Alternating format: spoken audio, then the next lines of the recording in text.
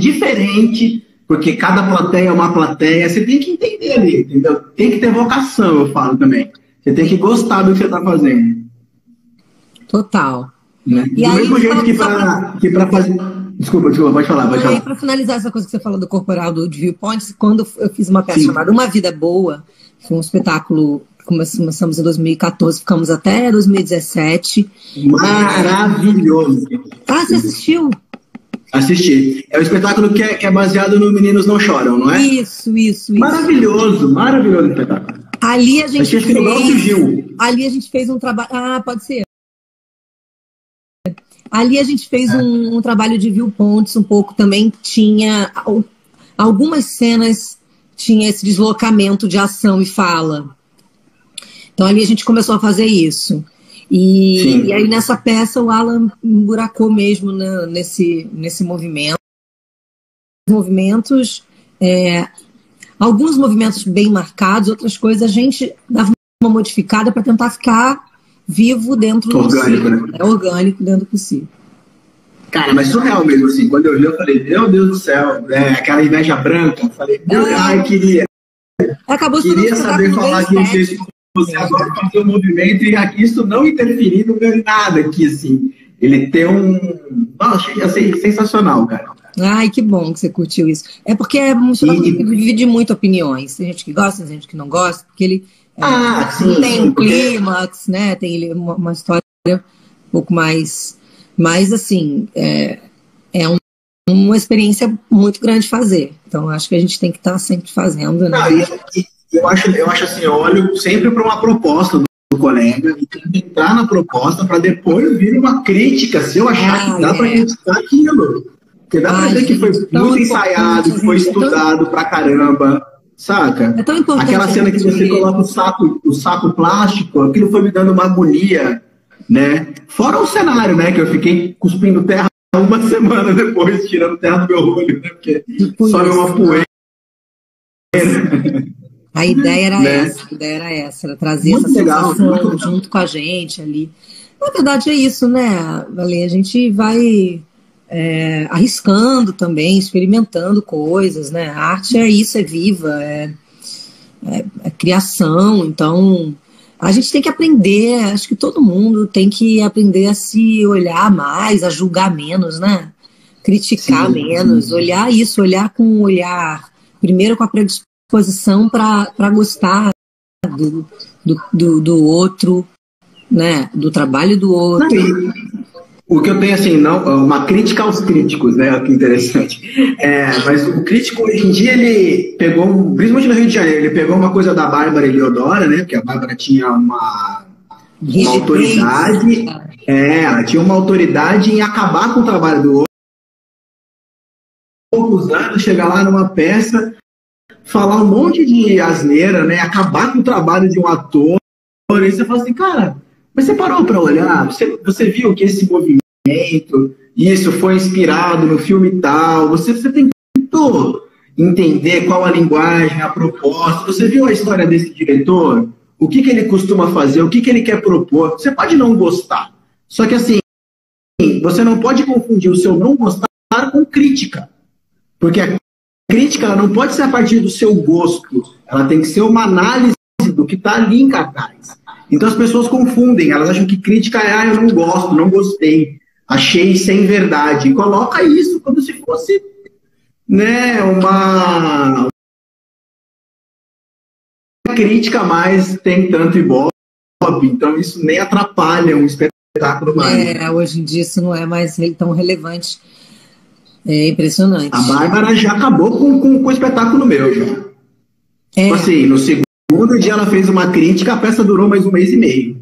Que aí a- aí o que, que acontece? Não é que a, a plateia não vai, o elenco começa a não curtir muito fazer mais, começa a ficar brochado. olha A só. Bárbara quis, quis poder. Comentaram aqui, ó, no meu trabalho também é assim.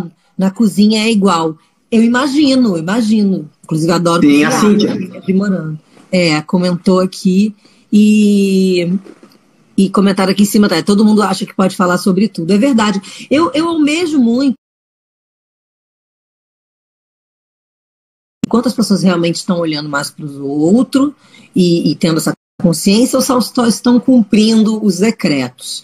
Mas veremos, Sim. né, ao longo do tempo, a gente vai vendo como isso vai, como isso vai se desenrolar. Mas eu almejo muito que esse recomeço que a gente vai passar em todos os setores, desde a economia, a cultura, de todas as profissões e com relação a todas as pessoas, no qual não existe diferença, é, não vai existir diferença financeira, nada. Vai todo mundo ter que estar tá partindo de um ponto que é um recomeço recomeço, cada um né, no seu nível, mas vai ter um recomeço. Então, ao mesmo muito que nesse recomeço as pessoas consigam parar de fazer um pouco isso, sabe? Olhar um pouco mais para o seu, focar ali no seu recomeço, na sua história, é, é, e deixar de ser inseguras com as coisas. Tentar acreditar, e, porque insegurança gera muita, muita, muito sentimento ruim, gera né? inveja, frustração, gera muita coisa ruim, que é uma bola de neve que vai indo indo e vai carregando todo mundo pela frente.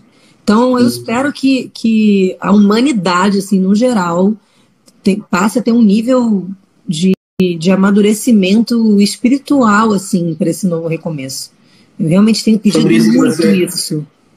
Sobre isso que você falou, Ju, até só para reforçar, eu acho que se cada um tentar fazer a sua própria mudança, a sua mudança interna, aos poucos a gente vai virando uma onda, sabe? Quando você for criticar alguém, só por criticar, seja sua vizinha, seja o cara que colocou, estacionou o carro errado, né?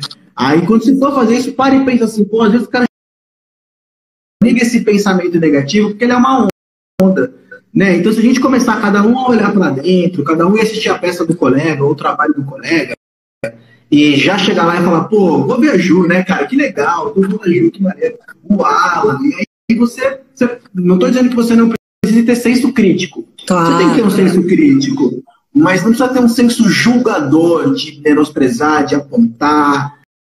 Né? Eu acho que é, é de cada um, assim, né? E se cada um começar a fazer, a gente vai contaminando as pessoas que estão em volta. Porque esse poder aí é legal, porque quem tá bem, tá bem. Quem, quem tá bem vai levando a onda. Que na época o meu terapeuta me falou assim: existe uma coisa muito simples de você fazer que, que já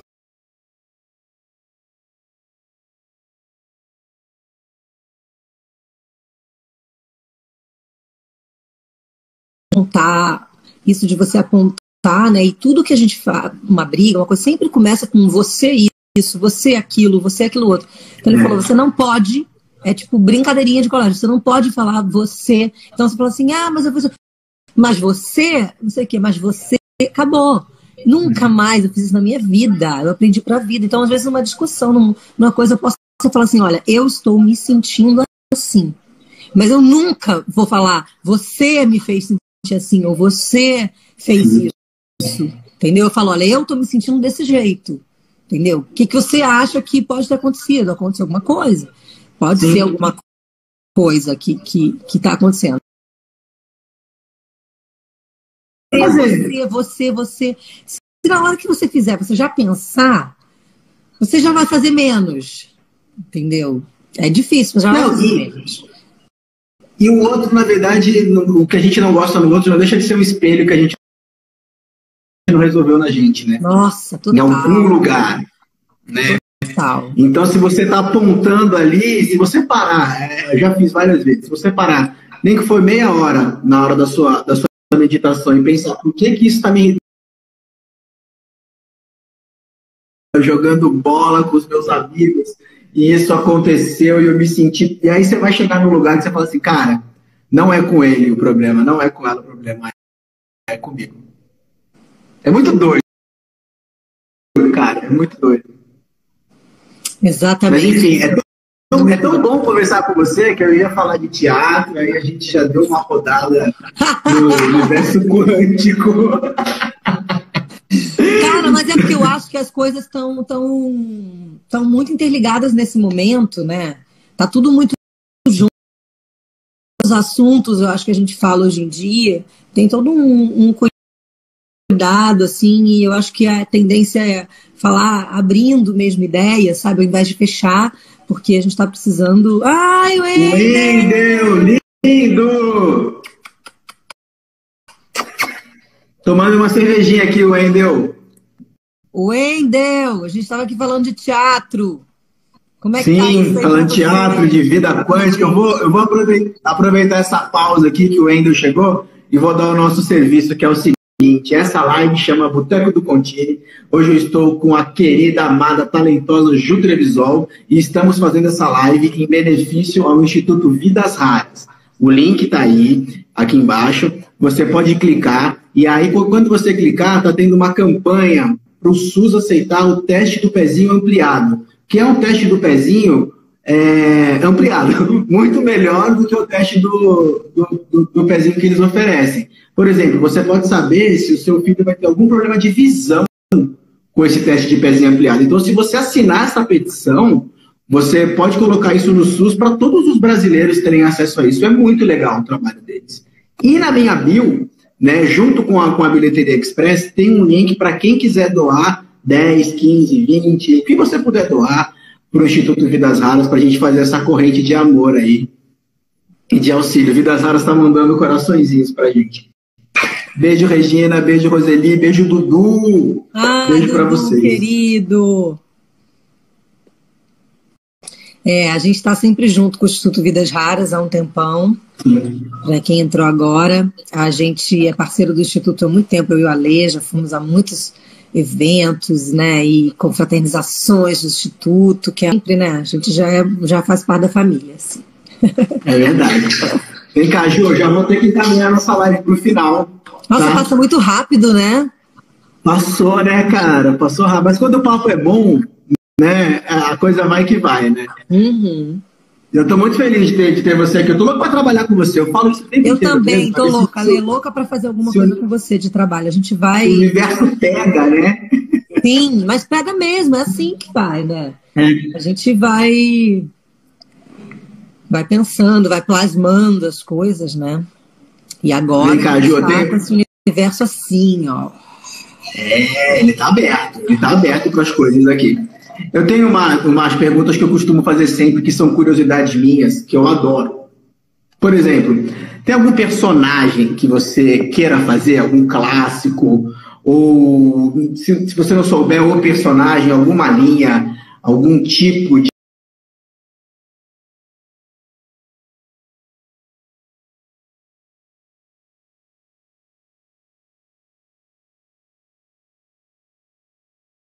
Esse, esse, esse eu vou montar um dia. Tem algum? Se não tiver, não tem problema também.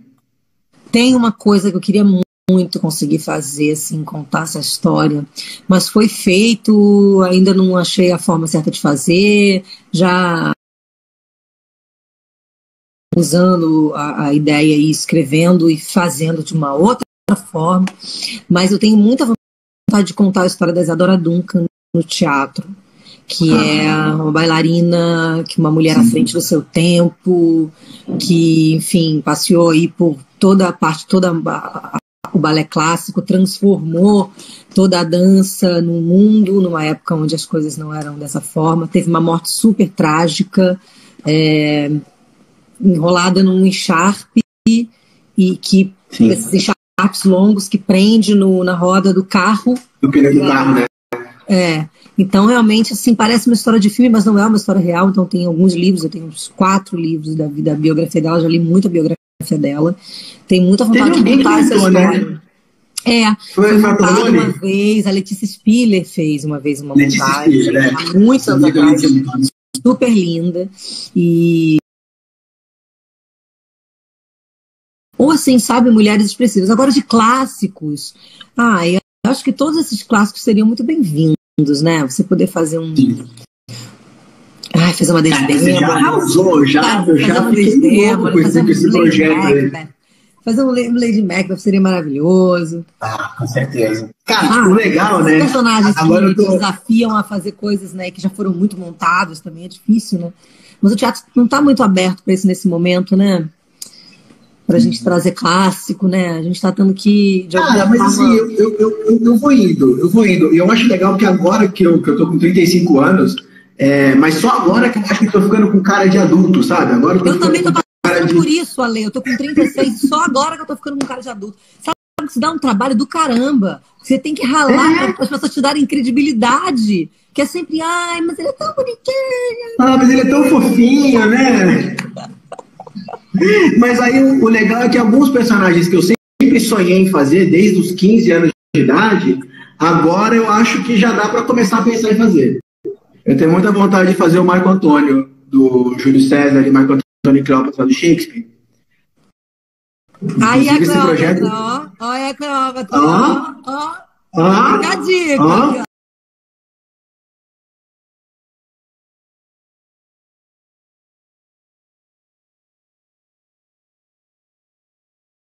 Né, encostando a Olha bola, o Wendel. caminho. A gente chega lá. O Wendel escreveu. Eu tô com quase 50 e essa cara de amigo ah. não chega.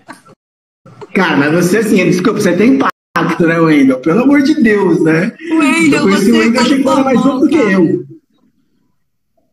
Wendel, eu assisti você, vou acabar com a tua vida agora. Que eu fiquei sua fã, Como? assistindo um espetáculo seu. Eu, eu tava começando a estudar teatro. E você fazia um espetáculo que você falava sobre a Cal, e eu me lembro, uma personagem maravilhosa, que zoava muito a Cal. E deixa eu lembrar qual é o nome da peça. Você com o Rodrigo, com uma, uma, umas, umas quatro pessoas, esqueci agora o nome, mas há muito tempo que eu te vi no teatro e falei, gente, esse cara é maravilhoso. Ele é maravilhoso. Eu assisti agora o incrível. É que era outro nome agora, mudou, né? O da mulher macaco, da mulher gorila. Ai, eu não vi, cara. Olha o jabá do Wendel Cara, eu vou falar pra você, o trabalho dele é impecável. E ele é dos seus, dos meus, assim. É o trabalho do corpo milimétrico e ele sabe exatamente o que ele tá fazendo. É um baita do trabalho. Mas, né? Ai, que beijo. Como a gente tem gente Vem cá, legal, Ju. né? É, dá vontade Vamos... de trabalhar com todo mundo que a gente ama e admira, né? Ah, dá, né? Ainda mais agora que a gente tá aqui em casa. Também, cara, Ju, a galera te ama muito aqui, né? Porque toda hora eu amo, Ju! Ah! Corações. Inclusive, teve uma que eu acho que deve ser fã-clube, que é uma foto sua. Ah, Aí é? eu olhei aqui e falei, gente, o que, que a Ju tá escrevendo? Beijo, eu, não, eu não olhei aqui, mas deve ser fã-clube. Beijo, beijo, beijo. Galera do fã-clube aí. Ah, vem cá, outra pergunta, falando em fã-clube. Já teve algum fã maluco que passou pela sua vida? Tipo, sei lá, você chegou num hotel, aí tava um cara de cueca ali, ou sei lá, alguém que tentou invadir uma peça sua, alguma coisa. Eu adoro essas histórias, cara.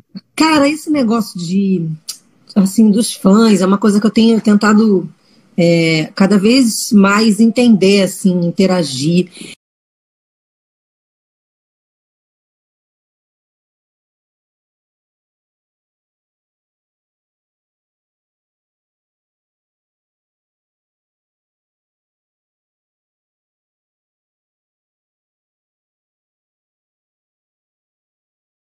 É... Sim, sim, sim. E aí, e, e aí eu, eu, eu, achava que não, a pessoa não tinha que, que, que, que, se dedicar tanto. Depois eu fui entendendo que não. E aí eu também tive os meus ídolos também, de jovem e tudo mais. E tenho até hoje os ídolos, eu fui entendendo que não, que não é esse o caminho. Claro que não. Mas não cheguei a ter nenhuma história absurda. O máximo que aconteceu foi assim, uma época, na umas cartas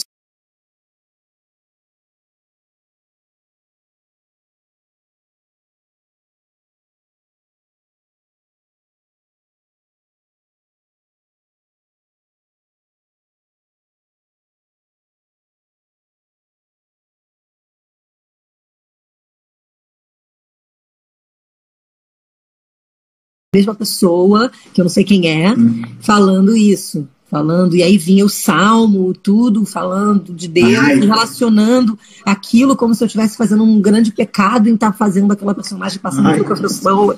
Nossa, foi uma loucura. Daí depois eu. eu não, a gente fica tão vulnerável, né? Quando tá no palco, tá em cena. Aí vem um negócio desse, mexe, né? Pô, nossa, a gente, é isso que você falou, a gente está aberto, né? A gente está é. disponível, assim, é, delicado mesmo. É forte. Mas. Mandar um beijo aqui pra Gabi e pra Tainá, que estão mandando aqui. Beijo, beijo. beijo. É, uma outra coisa também que eu adoro perguntar é se tem algum ritual. Cada personagem tem um perfume, se não tem o um perfume. Ah, tem tudo isso. Tem, zerou, um monte, tem que lembrar, tem um monte de mania. Tem tudo dos Eu personagens. também tenho. Perfume tem, sempre. Só usa aquele perfume, que é aquele cheirinho da personagem, já fica ali no teatro. Cada um tem a ver Mas já, mas já acabou. Tipo assim, você fez uma peça há muito tempo que o perfume acabou. E aí você falou, cara, eu vou ter que entrar sem perfume hoje. Já, Não, já, já. Uma vida boa aconteceu. Acabou o perfume da Ellie. Eu tive que readaptar para uma temporada seguinte, um outro parecido. Sim. Foi. Mas tem, mas varia, né? Eu, como eu tenho muito essa coisa com o corpo, eu realmente não consigo entrar em cena sem, sem aquecimento. Ah. Vocal, principalmente, porque eu já tive fenda, Você então. tem uma. Aquele, aquele que rasga você tem uma voz incrível em cena. Tá?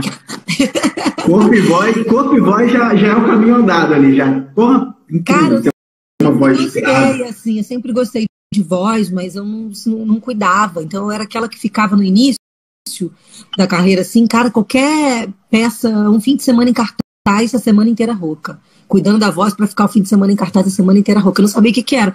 Até que eu fui para uma manifestação, naquela época das manifestações, tomei um gás lacrimogêneo na cara e fiquei afônica. Tava fazendo um filme, fiquei afônica. Que eu tive que fazer fono para todo o resto da minha vida. Desculpa, desculpa dar risada. Mas é. Mas eu nunca tomei um gás lacrimogêneo na cara. Pois é, foi horrível. Mas eu aprendi. E aí depois, eu tava fazendo um filme, Ninguém Ama Ninguém por mais de dois anos, que está disponível no Now, assistam. É, sobre Tá. é, uma história de Nelson Rodrigues, não sei se você já viu esse filme. Ah, que delícia. É, Ninguém Vou- Ama Ninguém por mais de dois anos. São histórias da vida como ela é, que nunca foram feitas. O Clóvis Mello fez no filme. O Clóvis Intercalo, Hernani Moraes, Que legal. Vou assistir. Gabriel, assiste, uma gracinha o filme, uma graça, eu gosto. Bem, bem, bem fiel a Nelson mesmo, assim. Bem fiel. Tô, eu sou fãzão do Nelson. Vem cá, vou, eu vou encaminhando a nossa última pergunta, porque a gente tem um tempo, como a gente está em vários lugares, a primeira coisa que você vai fazer, quando abrir a porteira do. Acabou a pandemia, podemos viver.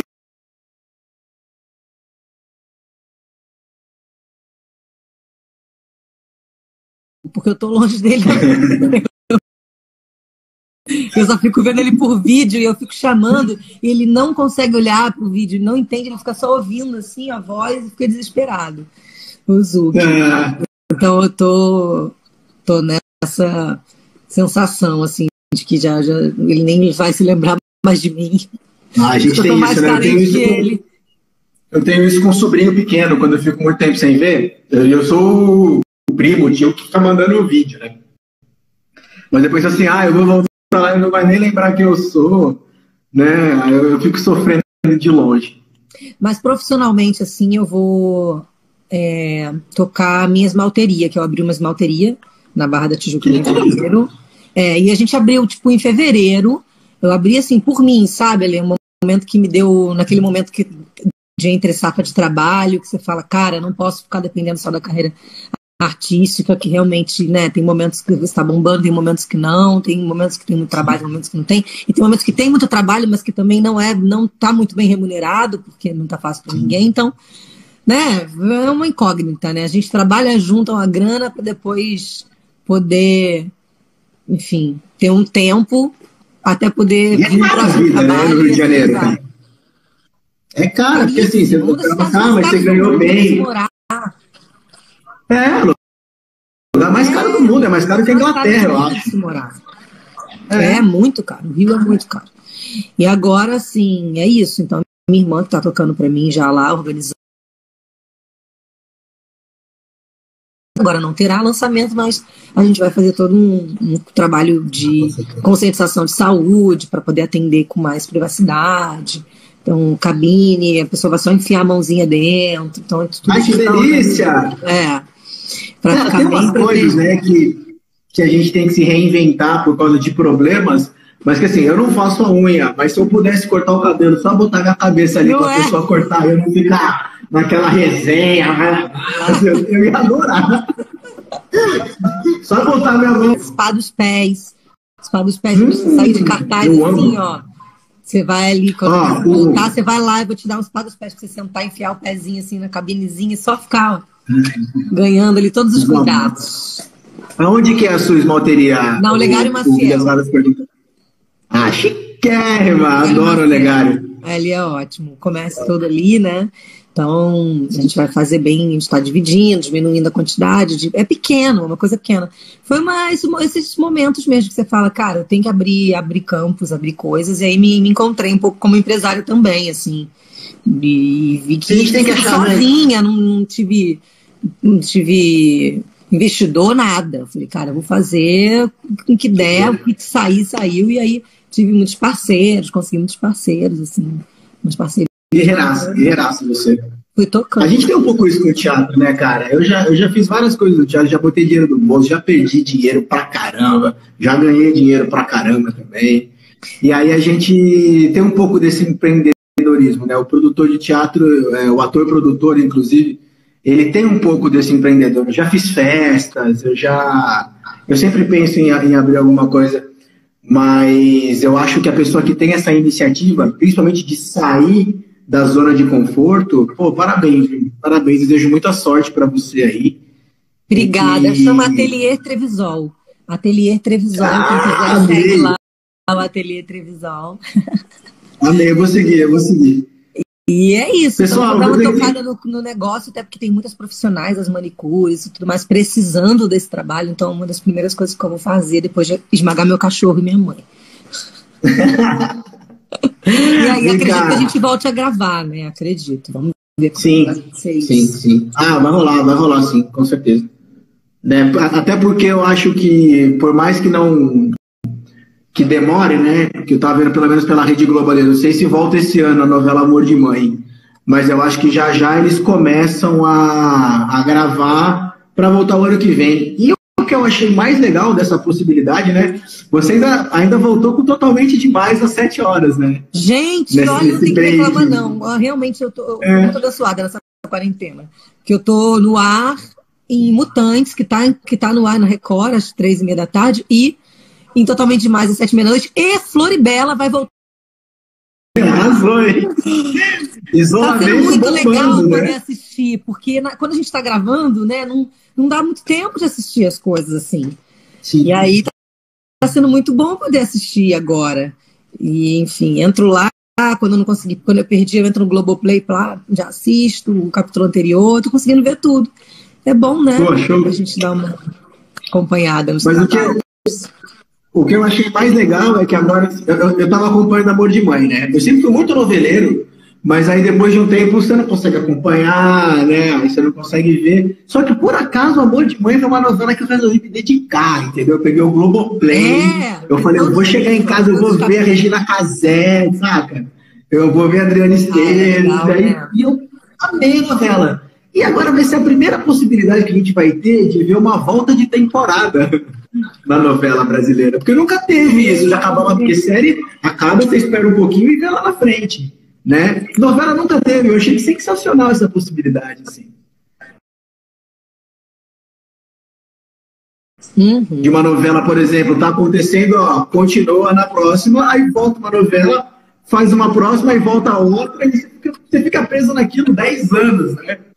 Igual The Walking Dead, Game Olha, of Thrones. Que...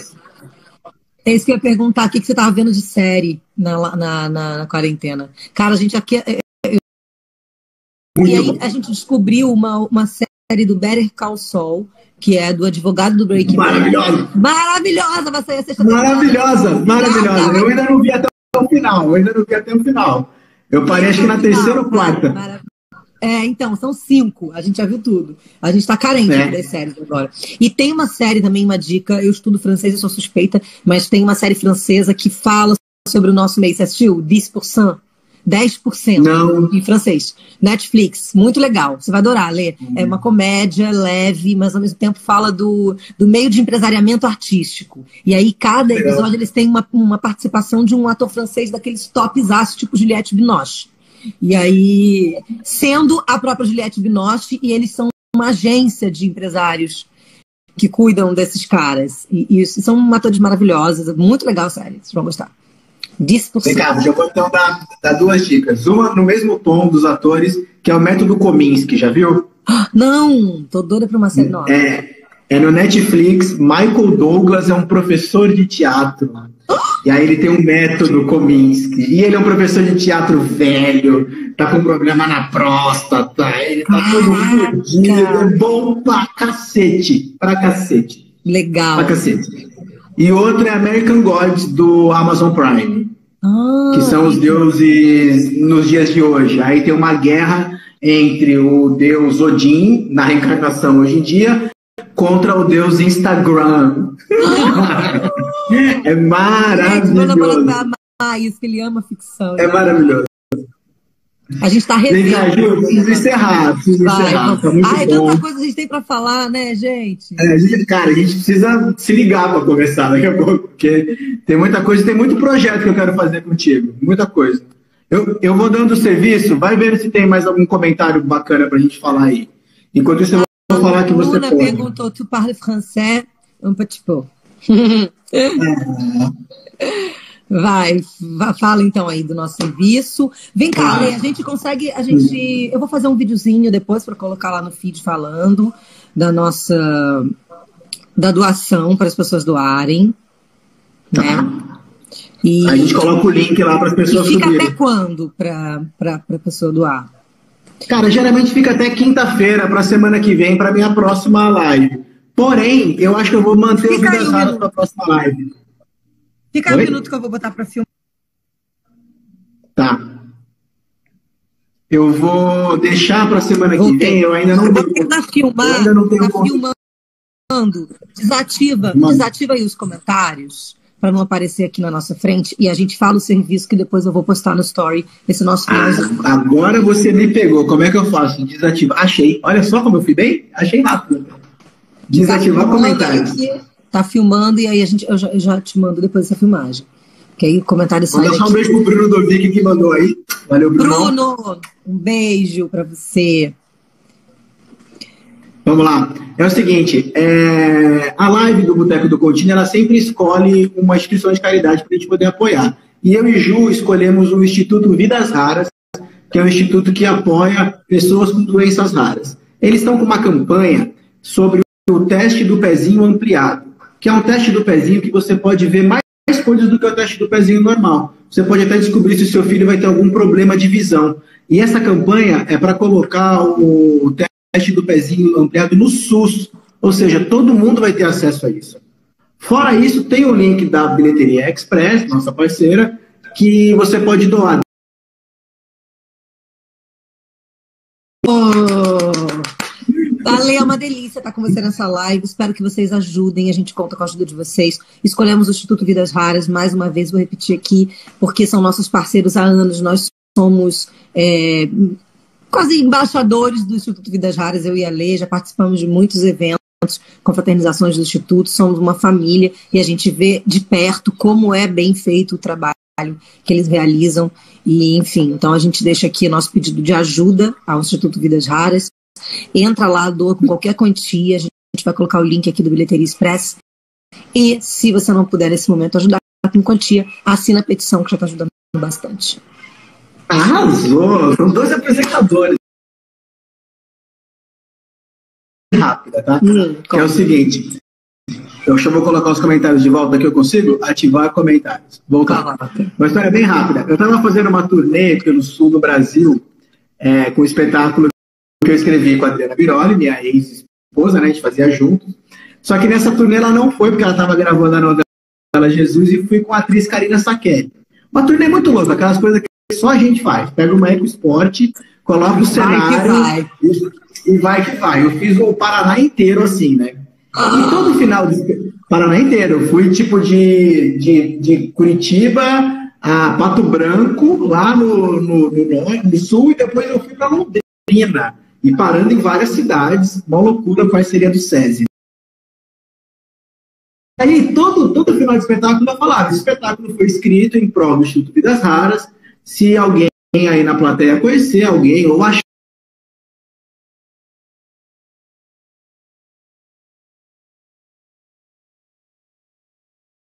e a gente conversa depois. E, inclusive, se alguém estiver vendo essa live, pode me chamar no direct a gente conversa depois. Aí, um dia eu saí do espetáculo, um espetáculo que não tinha muita gente, devia ter umas 20 pessoas na plateia. Eu recebi um direct de uma mãe. Falando: olha, eu não sei, mas eu acho que o meu filho tem uma doença diferente, eu não sei o que, que é, eu não, tenho, eu não, eu não tenho recurso aqui, eu não sei o que fazer. E aí eu passei o telefone da Roseli. Cara, ele tinha MPS, e o Instituto conseguiu fazer todos os exames, ah. conseguiu fazer tudo para precaver, ainda num momento super jovem dele, que ele devia ter 5 anos de idade, entendeu? Uma coisa que poderia piorar ao longo da vida. Ai, me emociono falando. Nossa, Lê, que coisa maravilhosa. Até o celular se emocionou aqui. É, até o celular mexeu. Nossa, gente, que coisa maravilhosa. Então, que fique como exemplo. Se você acha que seu filho, você conhece alguém que tenha sintomas, que possa parecer uma doença rara, procure o Instituto, porque eles estão ali sempre de portas abertas, de braços abertos para receber vocês e ajudar. Tá aí um exemplo né, que aconteceu na vida real. E o assim, teatro sendo o teatro, né? Podendo. É, exatamente, exatamente. Fazer Não importa quando, onde o teatro tem uma função maravilhosa. Ju, beijo. Vou ter que fechar aqui. Vai cair, vai cair. Beijo, vai cair. Tchau, gente. Beijo.